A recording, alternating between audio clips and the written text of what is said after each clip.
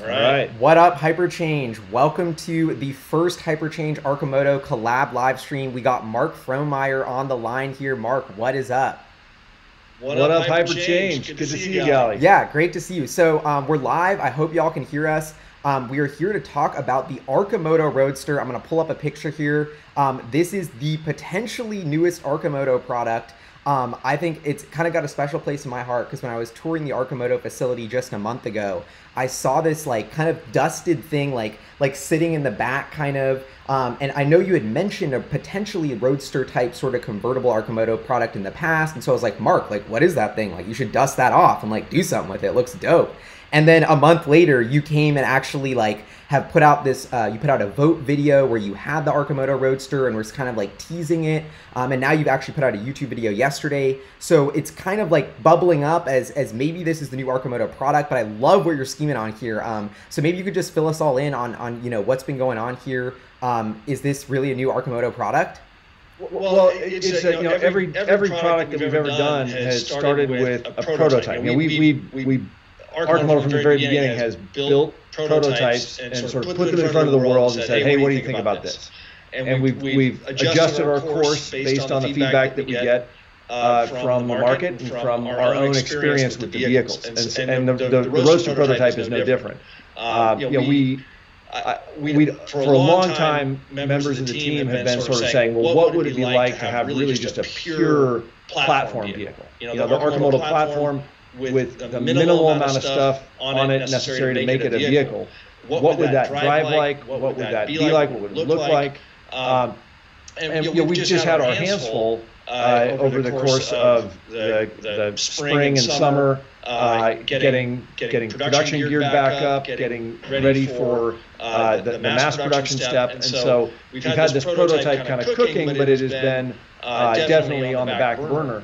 Um, um, but, but, but, it was actually you uh, uh kind of going like, whoa, what is that thing? Maybe me think, you know, let's let's, let's, let's get, it through quality and compliance check and, and, and, and see what it's like on the road, right? I mean, and, and, and that was, I, I think what probably um, um blew me away the most was just how I, I was I ended up being surprised myself at just how incredibly fun it is to drive the, the Roadster prototype. Yeah, um, I can't it, wait it, to drive one. And I'm curious if we could like dive into that because I know the kind of first principles of it without the cage. It's lighter. It's the the center of gravity is lower to the ground. Like even without changing the specs of that technology, which is to me the fascinating part, you're still getting a crazy different uh, kind of driving experience. Yeah, yeah I, think, there, there, there, are two elements. Yeah, so, so, one, the, the, the Arcimoto platform has been designed from the beginning to have a nice, really nice low and forward center of gravity um, it's, it's, really, it's, a, a, a, a we, took, we, took, we took many iterations to come to the right, uh, uh, the right architecture that supports having the upper frame and supports having a delivery module on the back and so on. Um, um but when when you take that away, it, it pushes the mass, you know, again further forward and down, um, and it. Uh, uh, you, know you know, what? I actually think, think that that, that uh, Ray, Ray might be here to, to, to pick, pick it up. It's, it's the, the, the, Roadster is going on a, a no way a secret, secret trip. Um, um, so uh, I'll, I'll, be I'll yeah, be right back. BRB, I'll fill in the time. Don't worry about it. Show, show them some show, show some pretty pictures or something like that. I'll be, I'll yeah, be right back. I will. And so I well I can I can fill you in here on uh, whoops. What's up, everybody? Um, so actually, I'm gonna turn on the chat so we can see the chat. If you have questions um, that would be awesome. Our e- echoing. Um, okay, well, hopefully the, the sound echoes away. Um, oh, mute my mic. Okay. All right. All right. So um, pe- people are saying there's an echo, so I, I tried to figure that out. Hopefully, we're good. But um, I, what excites me from the business angle of this, Mark, is the the the same platform and also potentially like it's going to be easier to build this, simpler simpler to build this, um, and potentially more wiggle room in terms of like, do you want to use margin or do you want to lower the price or um, you know, it's it's just kind of a lot of wiggle room there. Echo. Hey, Galileo. Yep. I, I can you hear me? Yep. Because I'm your audio is coming through like it just barely. It did, it, it did, that, that, little cutout, cutout thing, thing again. again. Okay, are we good? Oh, oh, oh. Getting it. Now I'm getting it. That's, yep. that's, odd. Okay. okay. All right, yeah, maybe okay. just mute if you're not speaking, and then that'll be fine. Got it. Got it. But um, yeah, that's awesome. And so, what do you think about the the um the production simplicity of the? We're doing it live, bro. But the um the production simplicity of the Roadster. Like, I'm really curious. Uh, if you could walk us through, like, is it easier going to be able to build one of these easily? Um, it, you know, because it's like you have four thousand pre-orders for your, for your normal car. So I was always kind of curious of like, are we going to be able to start if, if I'm an Arcimoto customer in like Florida and I really wanted this product, um, would I be able to order it and, and, kind of like integrate this into the production line, so to speak? Because that's where it gets me so excited. Of like, man, like I think this is a new a new sort of sweet spot for a lot of customers. So, so, so it is. Yeah, yeah there, are a couple, of questions, in there. You know, one, pre, a pre, an Arcimoto pre-order applies to any of our products. So we've, we've had, customers, that, that pre-ordered and then said, okay, actually, I really want a deliverator, and so we built a deliverator, a deliverator instead of an FUV. Um, the same thing is true of a, a hypothetical roadster product. Is that if and and again we're you know, right now we're really open only for sales in Oregon, Washington, and California, but we just announced our collaboration with DHL that is going to let us more rapidly open up uh, other states in the country. And we have a, you know, we have, to your point, we have a, a bunch of pre-orders in Florida, um, and we see that as a, a very viable market for Arcimoto products. Uh, and so, you know, I, I, think the Roadster is going to to be a, a, fine product. And actually, you can you can see it making its way out of the driveway now. It's getting loaded on the truck. Dude, this is epic timing. Yeah. And I, even I, I, hate to see it get taken away, but um, it's for it's for a good cause. That's and we fixed our technical difficulties, so I'm pumped. Um, so Mark, can can you fill I, us I'm, in? I'm still, Gal. You're uh, you yeah. there. It's funny because when you your audio sucks for you, everyone else is perfect. That's why I'm sacrificing you, Mark. Oh, um, uh, fair, fair. But um, I'll, I'll, just practice lip reading. That'll work. Um, but yeah, so um, I'm really curious if you could talk to us, give us a teaser about the the specs here, because even this is what I was fascinated by is the, and I, I've been trying to make this point, but not articulately, is like you can build this thing on the same platform um, like literally same battery, same architecture. So so many of those economies of scale are there. So from like a business strategy, like a, my investor hat is like, wow, this is going to be really dope.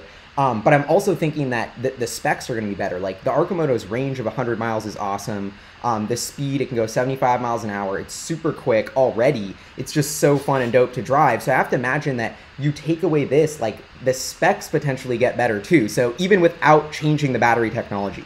So, so it gets lighter, and uh, we just waited. It's the the prototype is 1,180 pounds. Uh, I think that we there's there's more that we can take away um, that will make it lighter still. But you get you get two things. One is you know again center of gravity goes down, weight goes down, so it's it's lighter, it's quicker, it's even more nimble than the FUV, which is which is saying something.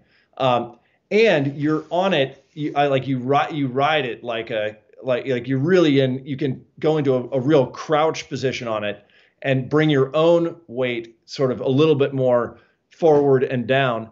Um, and then in that tuck position it's got uh, better aerodynamics. So we think that the combination of all of those things would lead to uh, even you know using the very same basic underlying platform which to your point is you know would be hypothetically made on the very same production line. Um, that that would still be a higher performance, uh, you know, just pure fun machine.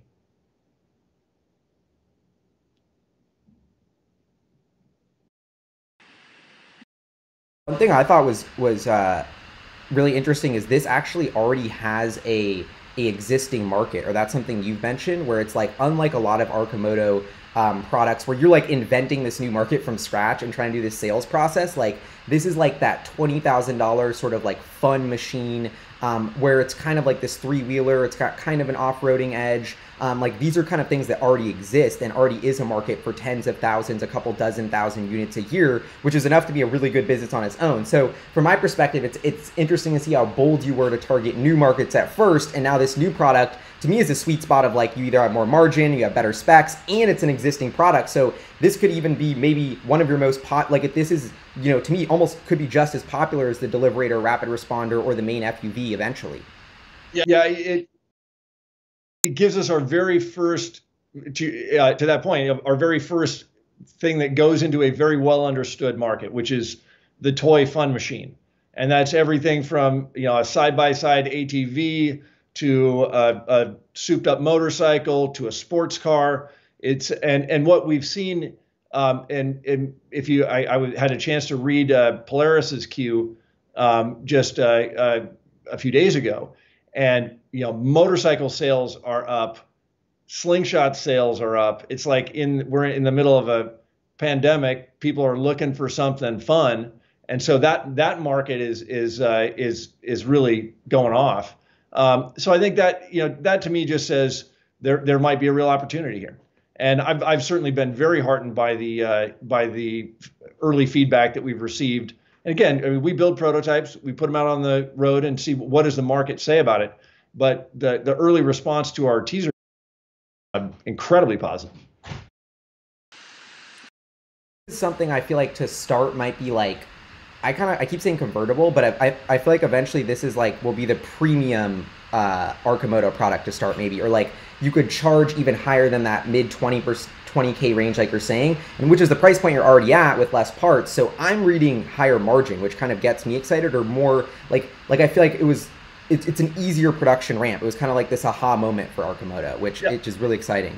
I, I advantages. One is that while we're still producing at low volume, it is has the potential to be a much higher margin thing, uh, and and so drive uh, profitability sooner.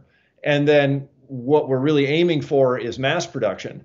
And so this gives us another market slice to go after that adds up to that 50,000 plus per year range.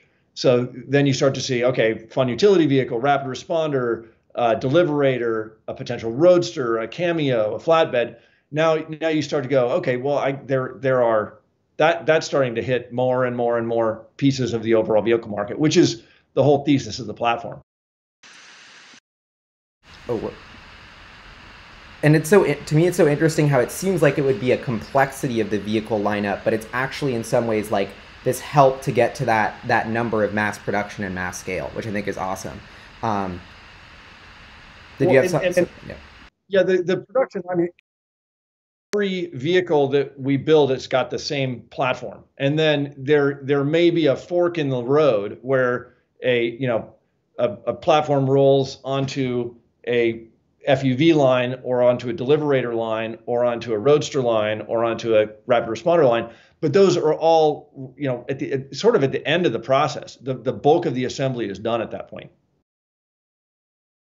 So I guess I have a question of like if if this first Arcimoto battery pack that we saw was like the pouch cells, which is actually it's going to be in the documentary Arcimoto documentary, which is so epic that's coming out. But I'm curious, like if you could give us a hint of like how you know they say battery lithium ion technology gets better at like 7% a year so is that something in the back of your head too of you always are ready to take on new batteries to implement on that you know that core skateboard platform as these because i assume you know tesla is pushing the whole industry forward. All the suppliers are building batteries. Like these batteries are getting cheaper and better. And at some point you have set up the product that is the perfect beneficiary of all these battery tech advances.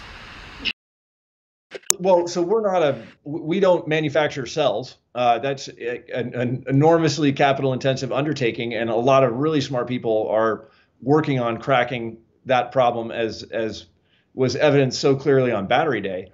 Um, what we do is we integrate cells into packs and put them into a very efficient platform, uh, and so you you know you can that that battery bay is is a pretty oversized battery bay for the size of platform that we're building. Um, and it could accommodate you know, we, we right now we have a really awesome cell in there. It's a, a, a great uh, power and energy density cell um, that that we have our own technology for packing.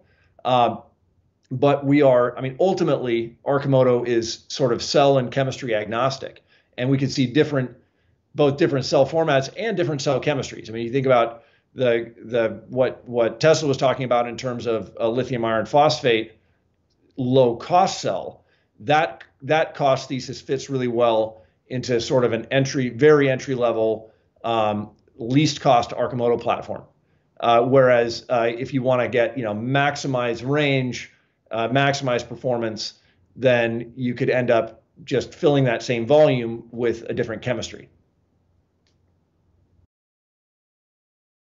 Uh, and this is so so exciting, Mark. Thank you so much for taking the time to like fill us in on it.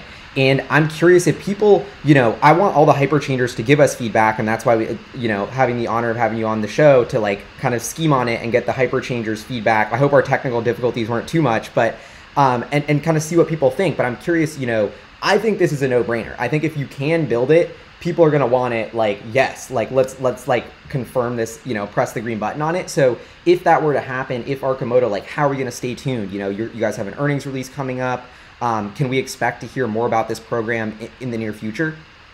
Uh, i expect it to be a topic that folks bring up on our earnings call on monday.